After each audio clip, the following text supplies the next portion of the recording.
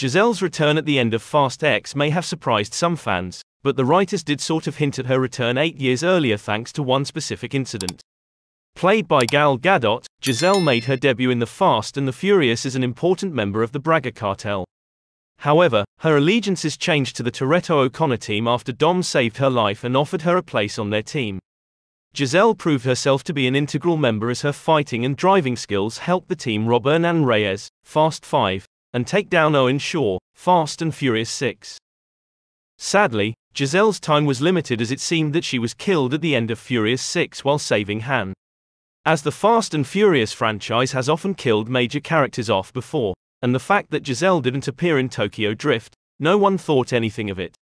However, as Fast X showed, this was a misdirection. Not only was she alive, but she was also working with Cypher to help her escape the Black Site prison in Antarctica. Her reappearance may have surprised some, but if fans paid notice to Furious 7, they would have known she was potentially coming back based on one scene. Like the movies before it, the climax of Fast and Furious 6 was as exciting as ever as it was full of action and drama.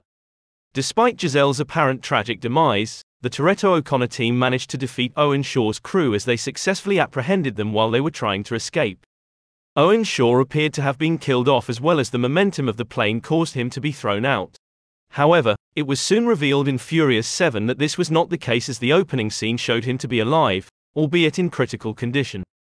Considering that he fell from a greater height, compared to Gisele, the fact that he survived certainly created hope that maybe Gisele had too.